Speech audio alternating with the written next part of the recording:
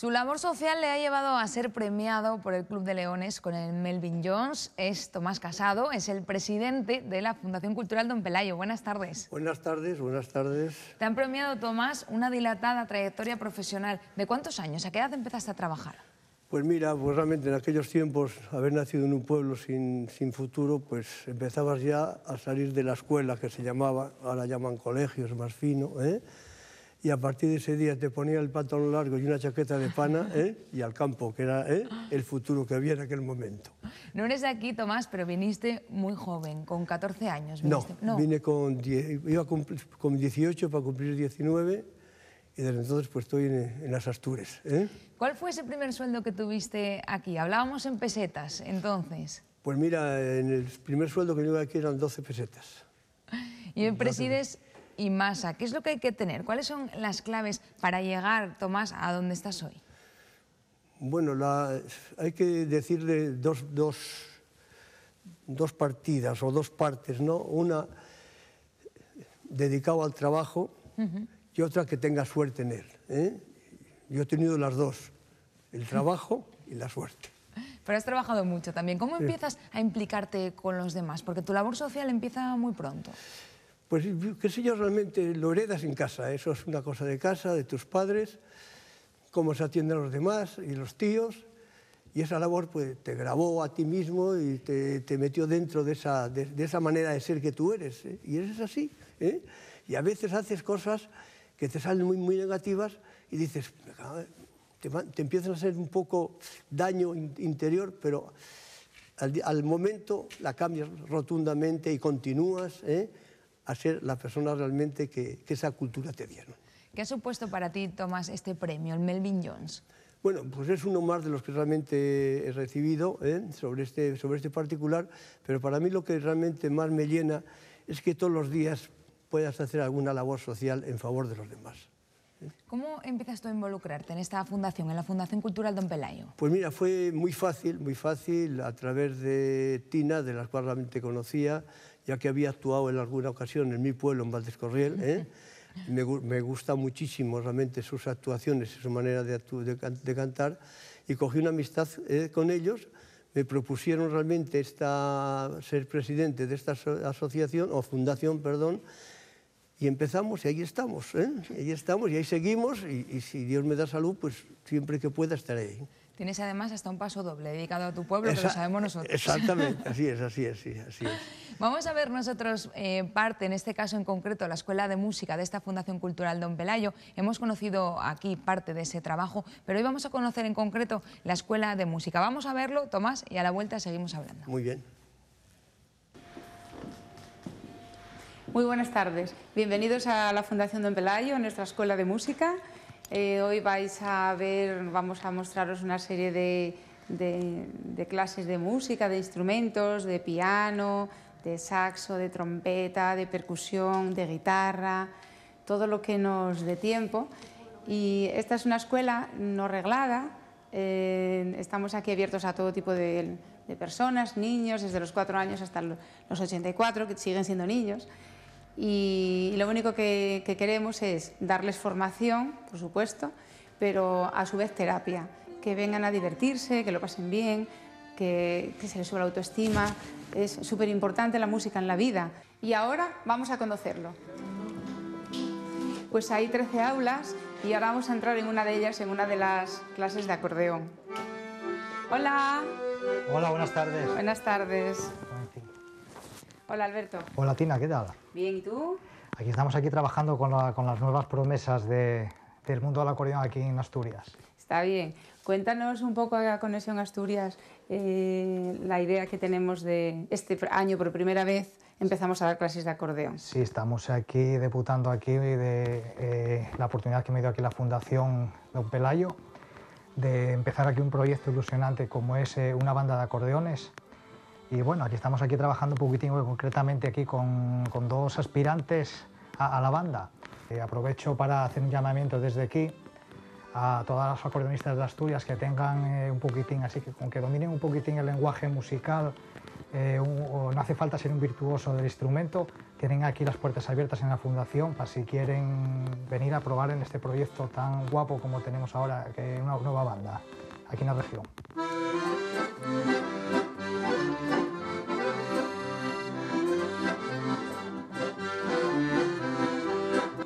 Ahora vamos a ver aquí en esta clase de, de piano, a ver cómo nos reciben.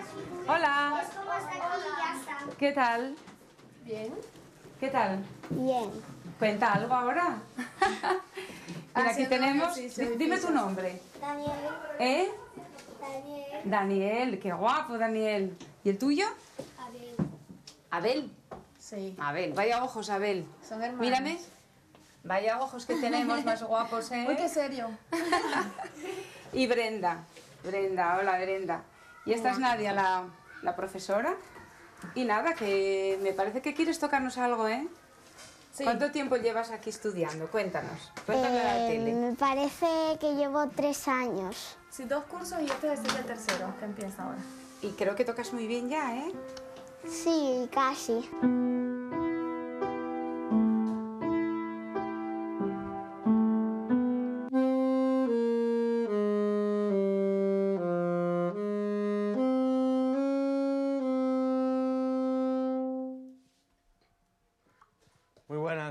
A la clase de saxo. Hoy tenemos invitados de trompeta. Bueno, lo que estamos haciendo en las clases es, eh, primero, con, por ejemplo, con los pequeños, iniciación y que quieran elegir un instrumento de viento para que empiecen. Y, y nada, intentar que se lo pasen bien. Son gemelos y por suerte cada uno eligió un instrumento diferente, así que no, no se pelean para nada. Y nada, bueno, el que, tengo, el que tengo yo le gusta bastante la trompeta, que es importante, es entusiasta, así que bueno, es lo principal para, para empezar a estudiar. Aquí vienen alumnos de todas las edades, empezando desde los 6 años hasta los, hasta los 80 y muchos, creo que hay algún alumno. O sea que no hay límite de edad. Y animamos a la gente a que vengan. Tenemos muchísimos profesores de, de diversos instrumentos, de viento, bueno, saxo, trompeta y de trombón también. Y bueno, nada, y después todo lo que es percusión, cuerdas, piano, así que hay para elegir. Así que, y nada, y los profesores la verdad son, son buenos músicos y, bueno, y sirve mucho, sirve mucho porque es la música, digamos. Eso es, muy bien. Eso, bienvenidos a la clase de percusión. La música nace, ellos eh, pues se sienten atraídos por esto y vienen aquí a la escuela a aprender, ¿no? Lo que, lo que realmente hacemos aquí es que damos clases individuales, hacemos clases individuales, pero al menos una vez al mes nos unimos todos y hacemos este tipo de práctica en conjunto, que es al final lo que, de lo que se trata, ¿no? De que ellos toquen en, en conjunto, de que se relacionen con los amigos a través de la música, de que aprendan a comunicarse a través de la música. Eso es- de eso se trata. Mm, hace dos años y em, empecé a tocar la batería en un juego de Guitar Hero y escuchando la música de mis seguidores. Y me- eh, la clase esta eh, es muy, se aprende mucho y es muy, muy bonita la música, la que se aprende aquí. Hola, estamos aquí en la clase de guitarra. Este es mi alumno más aventajado, Diego. Estamos tocando una canción de, de Sting, King of Pain.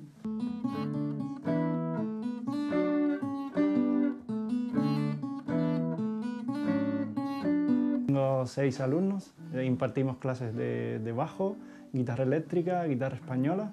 Me dedico a esto desde que tengo ocho años digo, y ya tengo 33, o sea que llevo muchos años ya tocando la guitarra y, estudiando. Porque esto es una, profesión donde nunca se termina de, de- de estudiar, o sea, todos los días aprendes algo nuevo, incluso con, con los críos, con los muchachos. La música y la danza siempre van de la mano y en la Fundación Don Pelayo también hay clases de baile. Aquí les dejamos con las peques de ballet clásico.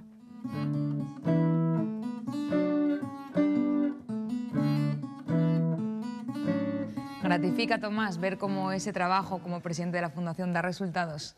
Hombre, sin duda e, e importantes, ¿no? Yo incluso eh, en el pueblo donde nací, realmente esto llegó un momento, pues, que yo quería que por verano pues había bastantes niños y digo, bueno, pues aquí tenemos que buscar salida para estos niños por la mañana y eh, hicimos algo, una cosa parecida, pero dentro de la informática y dentro realmente del tema eh, de, de los idiomas por el mundo y a veces pues los idiomas me fallan, eh, me di cuenta de la necesidad que tenemos de las dos cosas, de la informática como futuro y de los idiomas para andar por el mundo. En el caso de la música, ¿por qué la música y no otra cosa para ayudar a los demás? Bueno, yo creo que la música más que nada, más que en este tema hablar yo, tenía que hablar Tina Gutiérrez, que ha sido la, la, eh, la introductora de todo este, de este tema y su marido, ¿no? Porque yo de musicología no ando muy bien. ¿eh? ¿Cómo lo compaginas tu trabajo, tu labor empresarial con esta otra labor, la social? La verdad que realmente que la empresarial puede ser un 99% y la otra es un 1%. ¿no? Mira, ahora mismo acabo de hablar con el padre Ángel, ¿eh? que se marcha a Níger para mañana, no, para el lunes, de ven para acá, que ven conmigo, porque hago algunos viajes con él, ¿eh? acompañándole a, esos, a esa labor social tan importante en ese mundo de Dios. ¿Cómo invitarías, Tomás, a todas las personas que nos ven a colaborar con la Fundación Cultural Don Pelayo? Mm, pues yo realmente, pues, no solamente a través de, la Fundación Don Pelayo, sino a través de cualquier ¿eh? actuación realmente, porque hay mucha labor social que no se ve. Hay mucha labor social muy importante que no se ve y esa es, a tener en cuenta también en estos casos. La labor Don Pelayo es una labor tan importante, tan importante, porque está dirigida a seres de futuro, y a seres que ya termina su carrera. Tomás Casado, muchas gracias por estar aquí esta tarde en Conexión Asturias. A vosotros y muchas gracias. Solamente agradeceros que hayáis dado la oportunidad de estos programas ¿eh? a la Fundación y que esperamos realmente pues, vernos nuevamente por aquí. Claro que sí, nos veremos. Hasta la próxima. Muchas gracias. ¿eh?